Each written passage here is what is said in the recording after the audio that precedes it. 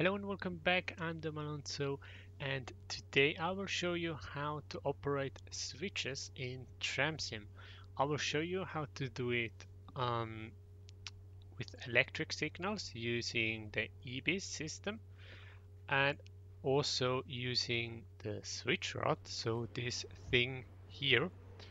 And yeah, so I will get moving, we are here at Karlsplatz, which is a good place to show you um, how to do that. So the requirement to be able to do that is you need to be level 2. How do you know that? You can press here the HUD options and then enable here the profile window and then you will see level 2 you need 5000 TSP for that um, I will take it off because I don't like that window. Um, yeah, you need to be level 2 to be able to operate the switches.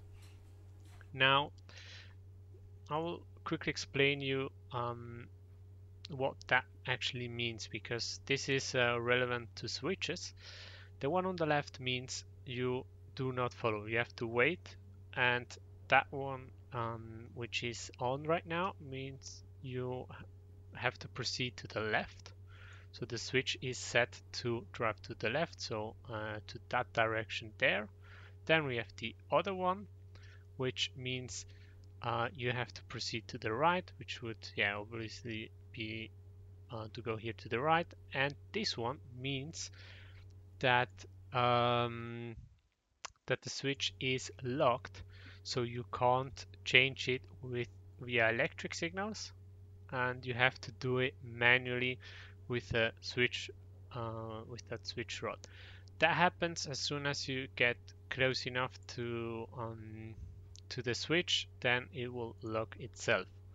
Okay, so here I will just continue. I will show you on the next um, on the next switch how to do it. Yeah, we have now. We, we shouldn't be allowed to drive, but I will drive anyway because it's just um, I, I, don't want to waste any time.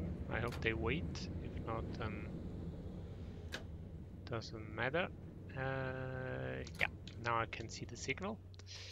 As you can see here, the next signal is set to proceed to the right. Now, I want to proceed to the left so, uh, so that you can see uh, what I'm talking about. You can see that uh, here you can um, go straight or proceed to the right or proceed to the left. Now we want to proceed to the left.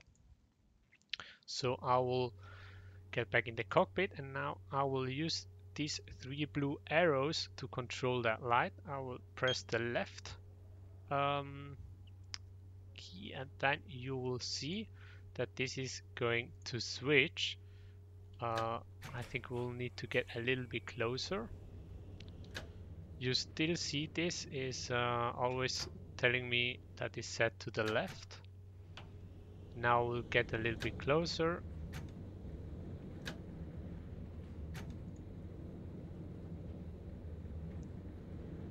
It's still not changed. Now it's changing and now it changed and also locked.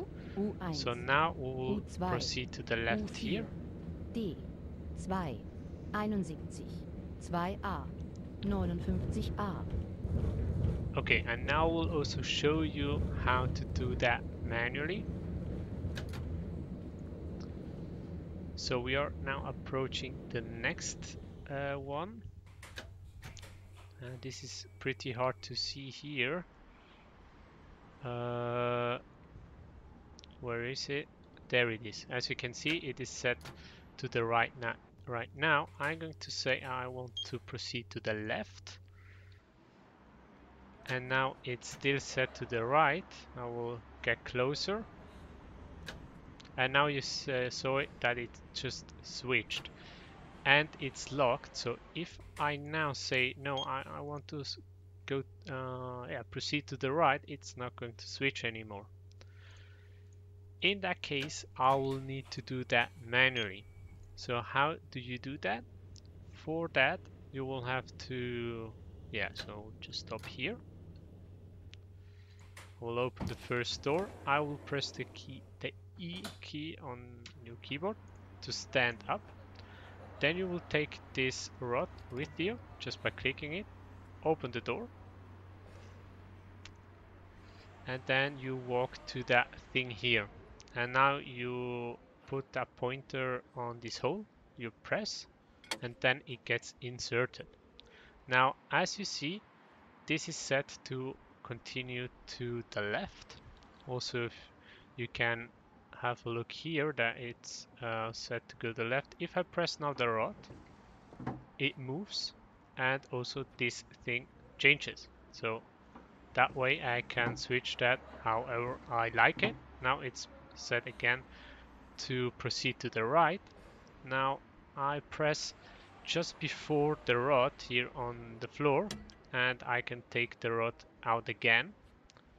And now I can get back in the tram place it back here close the door and press E and then we are back in the tram. And then we can continue. Uh, yeah the door is still open. I have to close that and yeah this is how you can change the switches by using the electric signals here and also by using the switch rod. Remember you need to be level 2, so first when it was introduced in update 106 I think, um, you could do that with, uh, you needed level 3, so 10,000 TSP. Uh, with update 107 they changed that to 5000 uh, TSP. Okay, so thank you for watching. Um, I hope you liked the video. I hope it was understandable how these uh, switches work. And yeah, see you next time.